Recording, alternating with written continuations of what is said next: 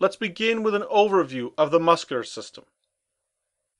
The human muscular system is made up of muscles and the central nervous system and peripheral nerves that control those muscles. The muscular system is made up of more than 700 skeletal muscles.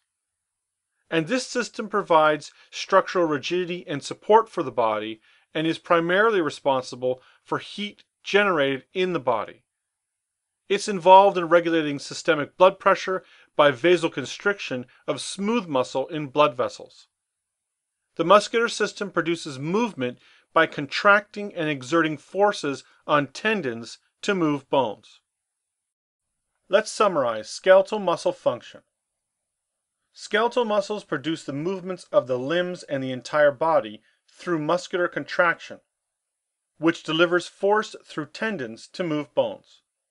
Skeletal muscles also maintain body posture, such as in a sitting or standing position.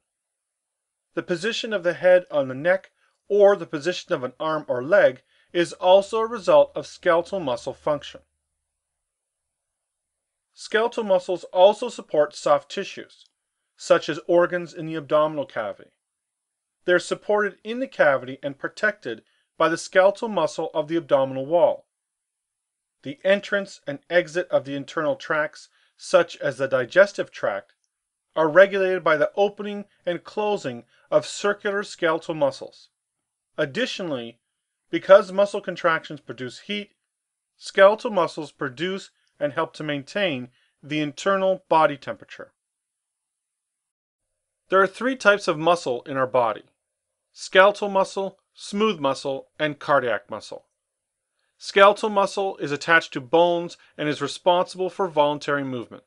Smooth muscle are the chief muscles found in internal organs and blood vessels, and they perform involuntary movement. Cardiac muscle, which is found only in the heart, is responsible for the contraction of the heart and the generation of blood pressure.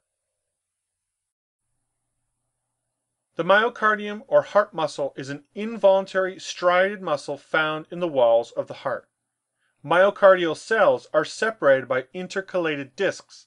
These are specialized cell to cell adhesion sites that facilitate the coordinated contraction of the heart muscle. The myocardium contains contractile fibers and a lot of mitochondria for energy production. The intercalated discs. One special feature of myocardium or heart muscle is the presence of intercalated discs. These play an important role in functionality of heart muscle.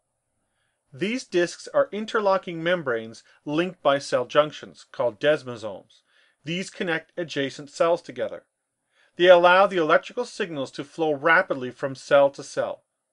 They also have gap junctions that allow direct movement of ions to help with the propagation of the signal. The gap junctions help to spread depolarization in the heart muscle in order to coordinate simultaneous contractions. Smooth muscle. Smooth muscle is made up of spindle-shaped cells which are non-striated. Actin and myosin are arranged in long bundles that form a lattice around the central nucleus. There is abundant actin in smooth muscle, although there are no T-tubules. There are two types. Number one, single unit. Single unit smooth muscle lines hollow organs in the body. And number two, multi-unit.